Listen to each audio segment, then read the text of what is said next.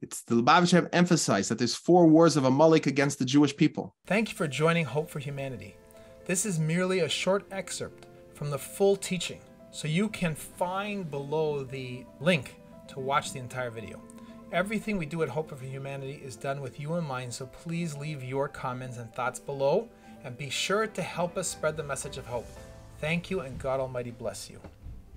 One is coming out of Egypt, going to Mount Sinai. The Amalek attacked openly. On the way, when the Jewish people came closer to going into the land, the Amalek came disguised as Canaanites, speaking their language to confuse the Jewish people. The third major war was in the times of King Saul. They came openly. The Rebbe says in the times of the coming Mashiach, they're going to come again with their last battle and they're going to disguise themselves in every disguise possible. They're, they're using the wrapping themselves in the turbans of Islam to get you confused. But we have to realize what the Torah teaches us. Actually, the Malbim on this Zechariah 823, I was quoting to Zechariah 823, I was quoting to before. He says, actually, the Ishmaelites, the descendants of Ishmael, are going to be the first to recognize God. They're the most ready to accept the God Almighty, God of the, the, the God, God Almighty, the God of Israel, is the one true God. That's what he writes. Go look inside. Zechariah 8:23. We are being forced through mirrors and deception to believe that there's hundreds of millions of Arabs against us. They just wish that we would stand up strong for once and liberate them all from this. If we would only stand up strong, they would be freed from their own terror regimes. We let them down every time. And this is the same lie, my friends, of the Holocaust. The main lie of the Holocaust was not to convince the non-Jews that the Jews were dangerous. That was a instrument. The main lie to con- carry out the Holocaust was to convince the Jews that the non-Jews didn't like the Jews. And therefore there was no safety in the world. And the only safe place was under Nazi rule because the Nazis came into every place proclaiming that they were to help the Jews and they better not flee because the fields were dangerous and the hills were dangerous. And they managed to corral the Jews into thinking they were going to be taken care of because the world was a dangerous place. It's exact same propaganda we suffer from today. So you have to realize that all these polls that come out saying that 99% of, of uh, Arabs in the Midwest Bank would get put on a suicide belt, whatever made that's all manufactured by the uh, Marxist intelligence services, by the Israeli intelligence services. They lied to the Israeli people in the in convincing the people to give up Gaza was about population growth. They over they fabricated the numbers of people in the Gaza. They fabricated the numbers to try to convince people that it made sense. So what do we have to do now, my friends? We came here for action. Came here not to lament about the situation. The Torah is a is a book, a guidebook for action. So I'm going to discuss some things that some of you are not going to like to hear, and that is okay. And hopefully you'll come around to it, but the message has to get out there. The same truth that has to be told about the reality of the situation has to be told now, but what needs to be done. Now, first, I want to address if you go to any Jewish site, everyone's talking about taking on more Torah and mitzvahs. We know that the Torah is the foundation of the world. The world we just learned was created for the sake of the Torah. And for the sake of the mitzvahs the Jewish people are going to do, the civilization is dependent on the commandments that the non Jewish people perform. This is the fundamental part of existence. So, yes, it is important to increase in your Torah learning and in your Torah observance. Yes, for every Jew and every non Jew. That's not a question about that. But a lot of people calling for that stop right there. They want, and it's correct, the Rebbe called for everyone to put on tefillin, all the Jewish men should put on tefillin. The women should light Shabbos candles. People should put up kosher mezuzahs. Should pray. Should daven. You should daven and pray. You should give charity should increase your faith. Should have a letter in the Sefer Torah, in a Torah written, and it should increase in joy. And these are all absolutely true. And if we had time, we could go through each one of them, discuss the details. But my friends, the Torah is telling us to do these things so that we have the strength to take action.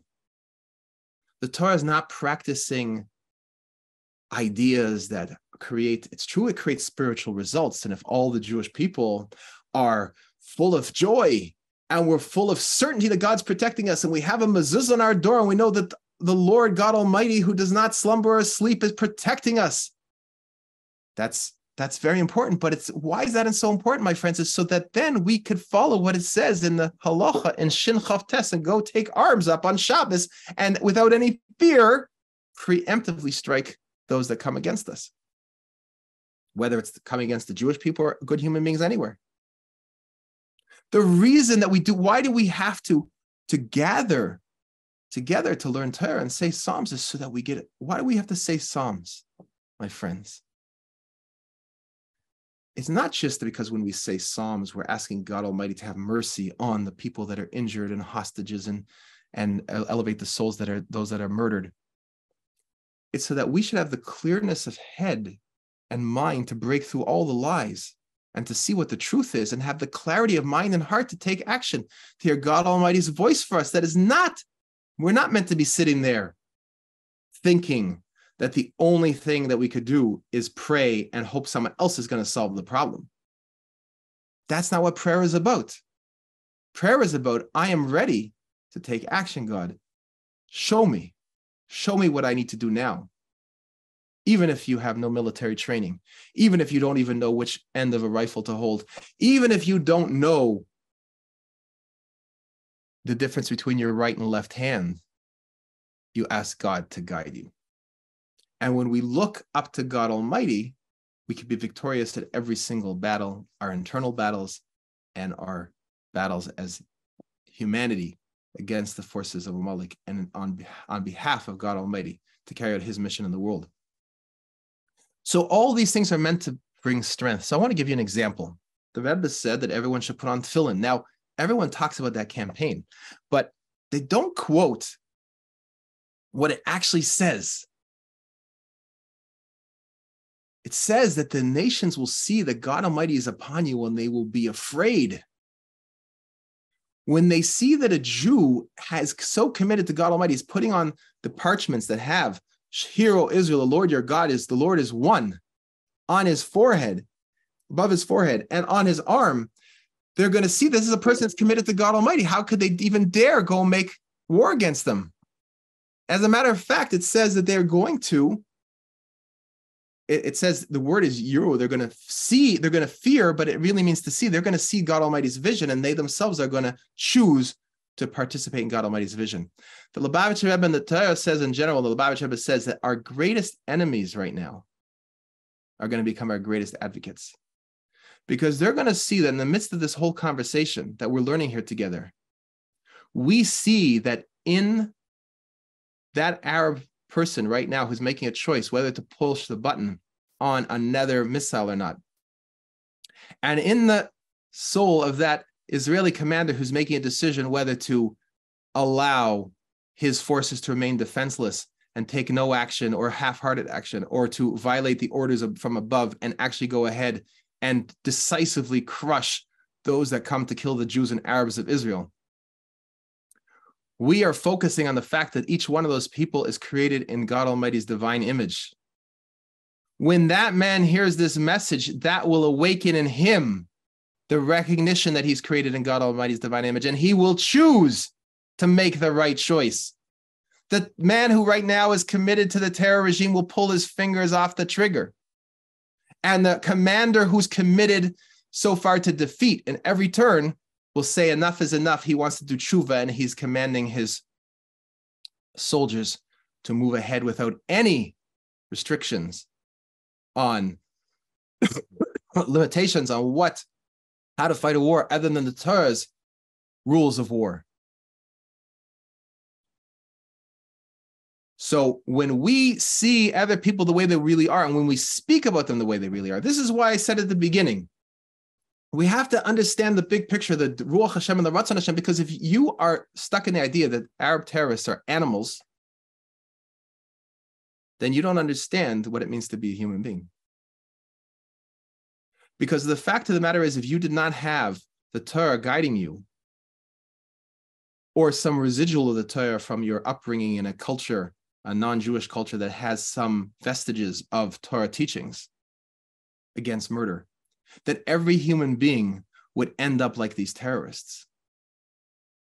Because you have lost sight of what a human being is, and you think that you're superior because of your actions that are evidently superior because you don't kill people, therefore the other person's an animal, you don't understand that we're all one step away from acting like that. And it's only by the divine help that God Almighty provides each one of us to make the right choice that we are promoting life and we're promoting an increase in life and we're promoting that every human being increases life. So we have nothing to sneer at at people, especially when it's the Israeli government that abandoned all these kids that are now terrorists to a an education system that has inculcated them in this terror mentality and action. They are all one step away from making the right choice if they would understand that there is hope They've only done this out of despair because they have been raised in an environment of despair that the communists promote that there is no hope. And therefore, the only way to act is through destructive revolution. When we reach them with the Sheva Mitzvahs B'nai Noach and teach them that the Torah has to say, then they'll realize they do have a choice. Again, we're not exonerating them from culpability for what they've done but we're explaining what the Torah viewpoint is on what every human being really is. So you've got to scratch your mentality and delete messages from anybody who's, and don't listen to anybody who says, these are animals, these are subhumans, these are human beings that have been raised under the same schooling system, my friends, that the Marxists want to implement for your children. If you don't fight to keep the Marxists out of your schools, out of your yeshivas, out of your public schools, out of your chedarim. This is what every human being will could end up looking like, God forbid, if they are subjugated to that psychological manipulation of the Marxists. So all of a sudden, when you look at things from a Torah perspective, you have a lot of humility. This is not an animal. This is a human being that he was subjected to the horrifying, torturous treatment of a Marxist system better take action fast, my friends. Because people like those Marxists live among us. Some of them are Jewish, some of them are not Jewish. So we have to move urgently. Like the Rebbe said, it's necessary to teach the Sheva Mitzvahs Ben Noach to prevent the Holocaust. Everyone's liable to descend to the level of the Nazis, given the right social circumstances, the right prodding, and the right identification of who the enemy is. No one's exempt from that. So we have to have some humility. And the humility is to know that we're created in God Almighty's divine image, and so is every single human being, bar none. Every single human being is created in God Almighty's divine image. That is a fact.